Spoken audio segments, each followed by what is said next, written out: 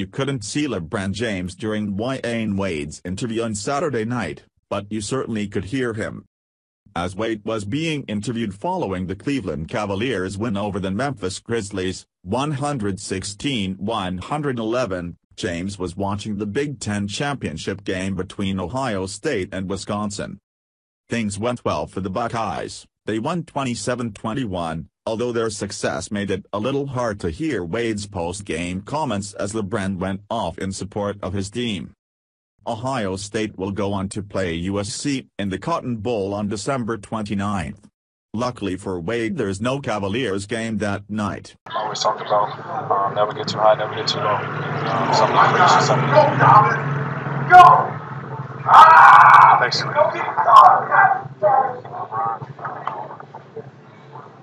Thanks. Go, boy! Go,